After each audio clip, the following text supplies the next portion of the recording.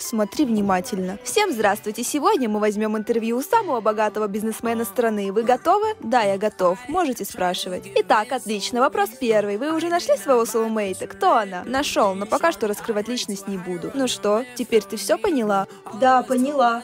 Оказывается, ты не кретин. Я это и говорю, я... Ты богатый кретин. Вау, вот это поворот. То есть ты все равно меня ненавидишь? А что должно было измениться? Ну, разве непонятно? Я все делал специально, я... Давай позже поговорим. У меня урок. Ты освободилась? Ой, я про тебя забыла. Так что там говоришь? Я специально пошел бариста, все было специально, я специально доставал тебя. Нафига? Проверить, не откажешься ли ты от меня. Нафига? Если не откажешься, значит ты со мной не из-за денег. То есть из-за того, что ты считаешь себя а таким богачом и никому не доверяешь, нужно было трепать мне нервы и творить дичь в ринге? С твоего описания это гораздо глупее прозвучало. Ты все испортила. Потому что это и есть глупо. Не понимаю, как человек с таким мышлением смог стать бизнесменом. Бет, тебе там привезли кучу всего. И что тут?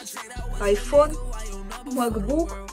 Боже, 101 роза? Да ты еще и банальный. Я ждал спасибо. Сначала проверяешь, полюблю ли я тебя настоящего, а потом пытаешься купить? Мда. Да как у тебя получается обосрать все то, что я считаю гениальным? Пиздец, точно. Пиздец. Эй, Бет. Ты?